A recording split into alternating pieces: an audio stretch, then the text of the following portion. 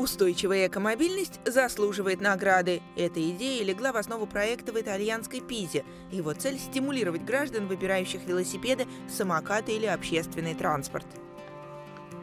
Приложение под названием GoodGo рекомендует оптимальный способ передвижения, оценивает уровень выбросов, фиксирует потребление калорий и резервирует для своих пользователей бонусы, купоны на скидки или другие маленькие подарки.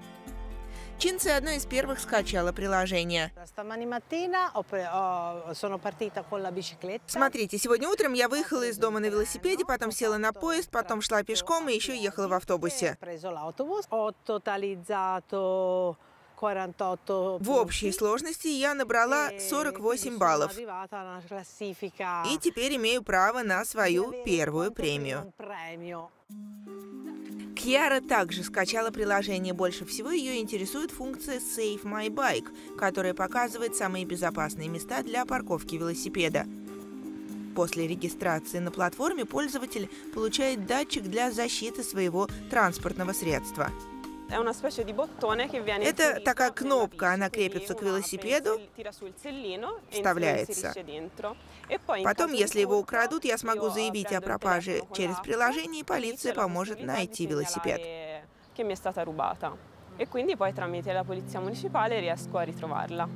Общий бюджет проекта 815 тысяч евро. Почти 45% профинансировано по линии европейской политики сплочения. Через неделю после запуска в мае в приложении уже были зарегистрированы 300 пользователей. Цель – выйти на пятитысячную аудиторию. По словам руководителя проекта Массимилиана Петри, инициатива ставит очень амбициозную цель. В итальянских городах, например, в Пизе, только 9% жителей передвигаются на общественном транспорте. На велосипедах ездит очень мало народу. Мы пытаемся внедрить новинку, чтобы уменьшить плотность трафика частных автомобилей. Накопленные пользователями баллы можно потратить в магазинах, которые поддержали проект. Чинце решила купить шоколад. Приложение очень просто в использовании для нас и для клиентов. Баллы, которые они меняют на нашу продукцию, нам потом компенсирует муниципалитет.